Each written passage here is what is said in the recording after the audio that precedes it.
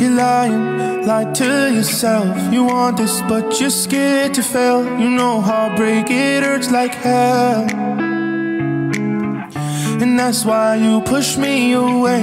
You think that that's the easy way.